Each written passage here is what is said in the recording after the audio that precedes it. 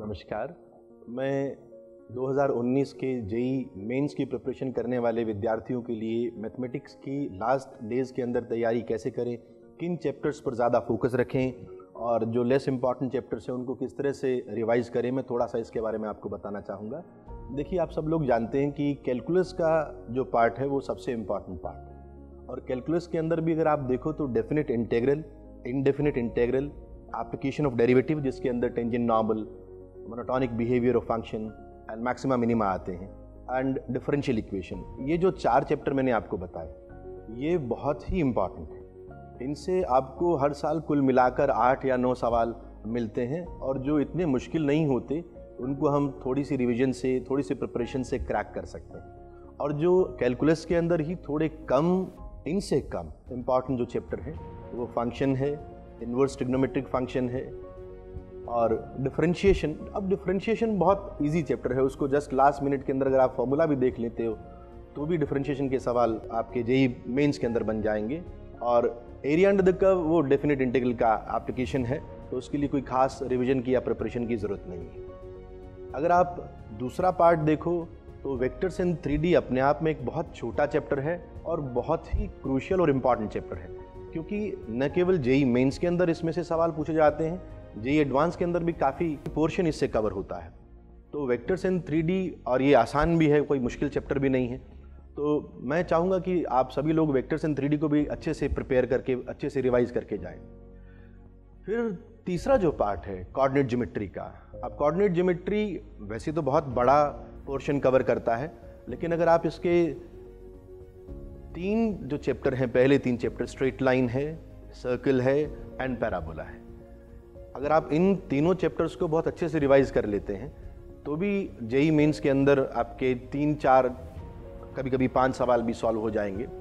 और जो पैराबोला के बाद में जो इलिप्स एंड हाइपरबोला जो आते हैं, उनसे कभी कभार एक सवाल पूछा जाता है बट हमेशा उनसे सवाल पूछे गए हैं, ऐसा नहीं है। जेई एडवांस के अंदर इलिप्स एंड हाइपरबोला से सवाल पूछे जाते हैं। उसके बाद में अगर हम लोग बात करें एल्जेब्रा के अंदर तो अलजेब्रा के अंदर परमुटेशन कॉम्बिनेशन एंड प्रोबेबिलिटी ये दोनों चैप्टर आपको मिलाकर हर साल तीन सवाल देते हैं। तो आप इनको भी ढंग से रिवाइज करके जाएँ।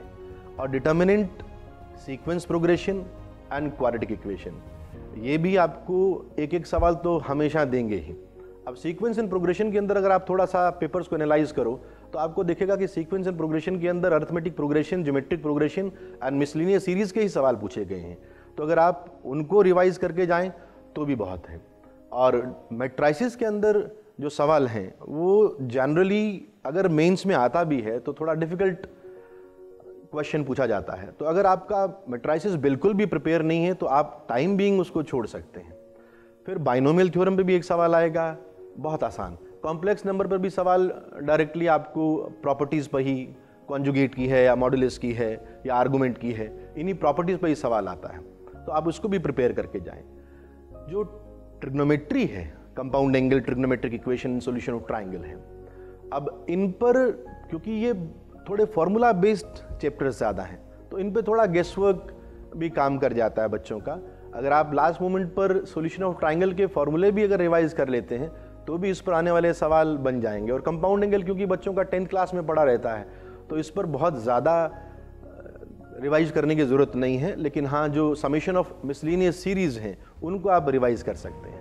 अब देखिए रिवीजन के बारे में अगर मैं बात करूँ, जैसे मान लीजिए अगर मैं कह रहा हूँ कि डेफिनेट इंटीग्रल को ही आपको रिवाइज करना है तो रिवाइज करने की स्ट्रेटेजी क्या है कि कोई भी चैप्टर अगर आपको रिवाइज करना है तो आप उसके सब टॉपिक में से डेफिनेट इंटीग्रल के भी अंदर सब टॉपिक है डायरेक्टली जो डेफिनेट इंटीग्रल से सवाल बनते हैं, या जो प्रॉपर्टीज़ की एप्लीकेशन से सवाल बनते हैं, या न्यूटन लाइबनीज थ्योरम से जो सवाल बनते हैं, या अप्रॉक्सीमेशन के जो सवाल हैं अब ये जो सब टॉपिक्स हैं, और भी बहुत सारे सब टॉपिक्स डेफिनेट इंटीग्रल के अंदर आप डिवाइड कर सकते हो तो आप उन सब टॉपिक से टोटल मिलाकर 30 क्वेश्चंस पिक करें, कोई से भी 30 क्वेश्चंस डिफरेंट डिफरेंट सब टॉपिक से, और उन 30 सवालों को आप अपने से हल करके देखें। मैं किसी भी चैप्टर की प्रिपरेशन या रिवीजन को तब पूरा मानता हूँ कि जब आप उन 30 सवालों को हल कर सकते हैं अपने आप से। इसी तरीके से अगर मान लो कोई दूसरा चैप्टर अगर आपको रिवाइज करना है तो आप उसके भी थर्टी क्वेश्चन पिक करें, सब टॉपिक्स टोटल कवर करते हुए और उन थर्टी क्वेश्चन को आप रिवाइज करें। इस तरह से पूरी रिविजन के साथ में कवरिंग ऑल सब topics and taking thirty question of each topic आप अपने रिविजन को पूरा कर सकते हैं। जो तीन चैप्टर्स हैं, जो जेई एडवांस के अंदर नहीं है और जो जेई मेंस के अंदर ही हैं मैथमेटिकल रीजनिंग है सेक्ट एंड रिलेशन है एंड स्टैटिस्टिक्स है। इनसे भी हर साल एक एक सवाल पूछा जाता है और ये भी आसान चैप्टर है, आप इनको ज़रूर रिवाइज करके जाएँ। मैं सभी विद्यार्थियों को जो इस साल 2019 के अंदर आई टी जेई मेन्स के अंदर अपियर हो रहे हैं, उनको शुभकामनाएँ देता हूँ। Wish you all the best जय हिंद।